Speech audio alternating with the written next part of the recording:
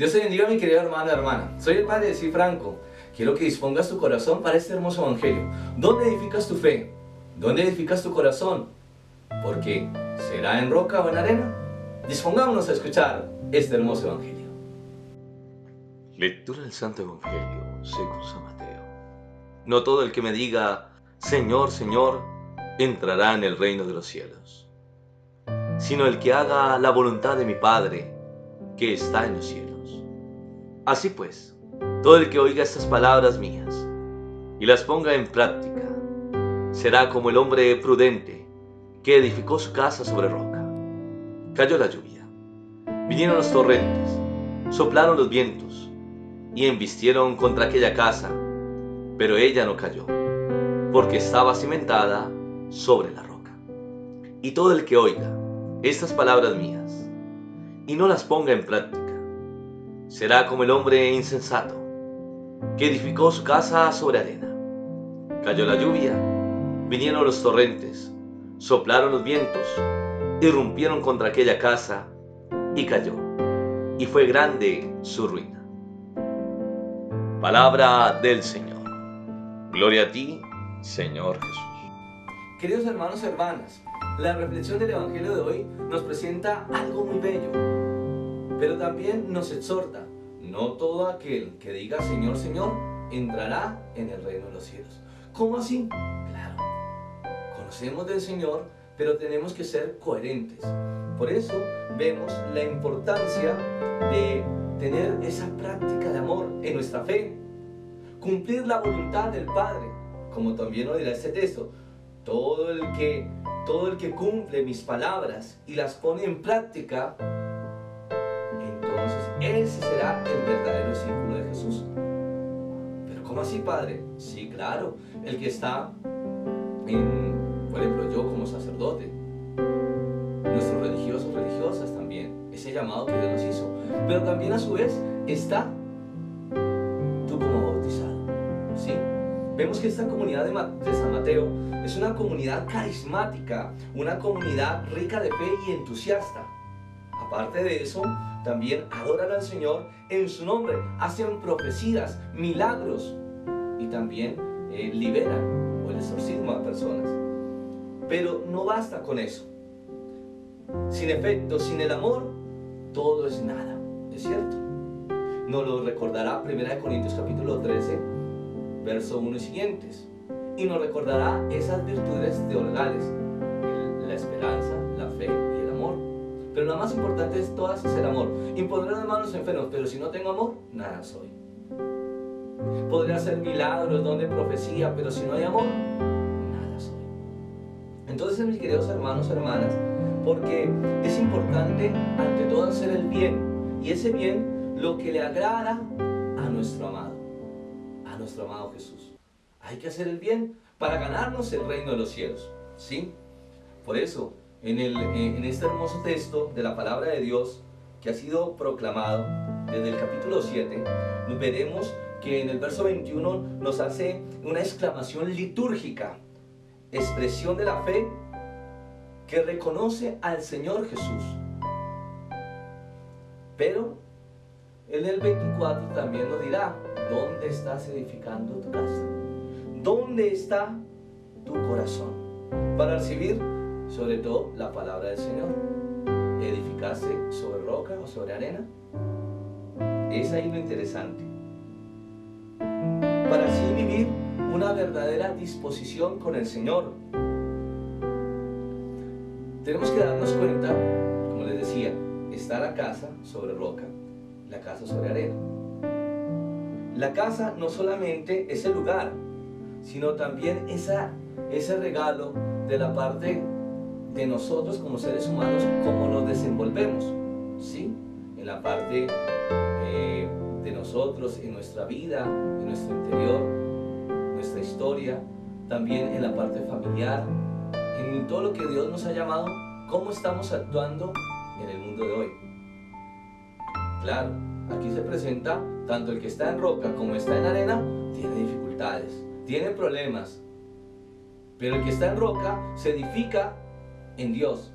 Pero el que está sobre la arena se deja llevar por el pesimismo por la mentira, por la desesperación, por la angustia, por la desolación. ¿Qué estamos haciendo, mi querido hermano, hermano? Es ahí lo interesante, para poder vivir ese hermoso regalo de la palabra de Dios. Porque en Dios tenemos vida, sin Dios estamos muertos. Y no es una amenaza, sino al contrario, sino es una experiencia de fe, de amor y bendición para decir, el Señor ha estado grande con nosotros. Eso es lo interesante de este hermoso regalo. Por eso, la comunidad de San Mateo se dirige a los creyentes que tienen fe y conocen la palabra. Pero hoy quiero decirte que la palabra es, una, es un hermoso regalo que se debe practicar, no se puede separar. Aparte de eso, tiene que también el pensamiento va con una realidad. Es ahí donde nosotros nos enriquecemos, nuestro ser, yo como persona.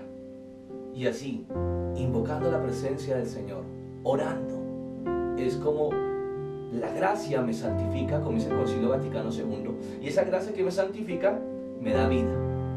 Y entonces, con mi testimonio, podré atraer a otros a este hermoso regalo de mi buen Jesús, a este hermoso regalo de la iglesia, a esta experiencia viva de fe, donde tú y yo veremos las bendiciones de Papito Dios. Nos unimos a esta hermosa oración en el nombre de nuestro Señor Jesucristo. Claro que sí, para edificar nuestra vida sobre roca y no sobre arena, para que Él nos ayude a vencer toda debilidad, todo cansancio, toda mentira, todo engaño. Claro que sí. Por eso, esta hermosa oración, para que tu vida pueda ver las bendiciones de Papito Dios. En el nombre del Padre, del Hijo y del Espíritu Santo. Amén. Te doy gracias, mi Señor, por todas tus maravillas, por el don de la vida, por la familia, por mi vida religiosa, por mis hermanos también, que viven en santo matrimonio, por aquellos que viven un noviazgo, por aquellos jóvenes también, niños. Hoy te quiero dar gracias por la humanidad.